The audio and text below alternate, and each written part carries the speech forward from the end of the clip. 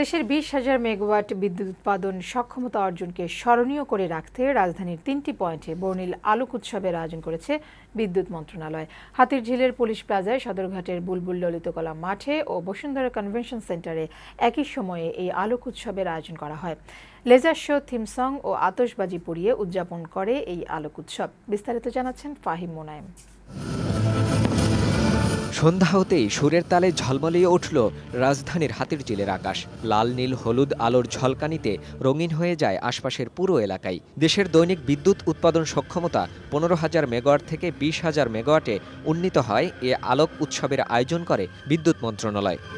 এ সময় লেজার শোর মাধ্যমে বিদ্যুৎ বিভাগের উন্নয়নের চিত্র তুলে ধরার পাশাপাশি জাতির জনক বঙ্গবন্ধু শেখ মুজিবুর রহমানের কয়েকটি প্রতিকৃতিও দর্শকদের সামনে উপস্থাপিত হয়। এছাড়া দেশের অন্যান্য খাতের উন্নয়নের চিত্র নিয়ে একটি থিম সং প্রদর্শিত হয়। উৎসবে অংশ নিতে রাজধানীর বিভিন্ন প্রান্ত থেকে হাতির ঝিলে ভিড় জমায় নগরবাসী। এ সময় বিদ্যুতের এই সুফল দেশের প্রতিটি ঘরে পৌঁছে দেবার দাবি জানান তারা। আগে তো অনেক লোডশেডিং হতো এখন তো সেরকম হয় না। শুধু হাতির ঝিলেই নয় এমন আয়োজন ছিল রাজধানীর আরও দুটি স্থানে। সদরঘাটের বুলবুল ললিতকলা মাঠ ও বসুন্ধরা কনভেনশন সেন্টারে। লেজার শো আতশবাজির মাধ্যমে বিদ্যুতের সাফল্যের কথা জানান দেয় বাংলাদেশ বিদ্যুৎ মন্ত্রণালয়।